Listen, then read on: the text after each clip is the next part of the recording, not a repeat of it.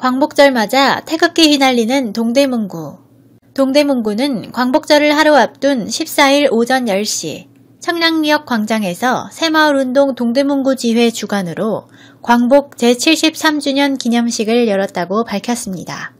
이날 행사는 유덕열 동대문구청장, 허남현 새마을운동 동대문구 지회장을 비롯한 새마을 지도자, 청소년 봉사자 등 총 100여 명이 참석한 가운데 진행됐습니다.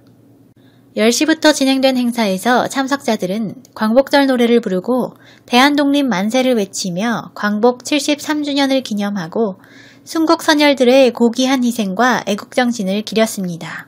태극기에 대한 주민들의 관심을 높이기 위해 마련된 태극기 체험부스에서는 태극기 바람개비와 부채 만들기, 태극기 색칠하기, 태극기 바디 페인팅 등도 진행했습니다. 유덕열 동대문 구청장은 제73주년 광복절을 맞아 주민들과 함께 태극기를 흔들며 독립의 의미를 되새길 수 있어 더욱 뜻깊은 오늘이라며 모든 주민들이 광복절을 함께 기념하고 태극기 달기에도 적극 동참해주기 바란다고 말했습니다. 위 사진은 동대문구청으로부터 제공받았습니다.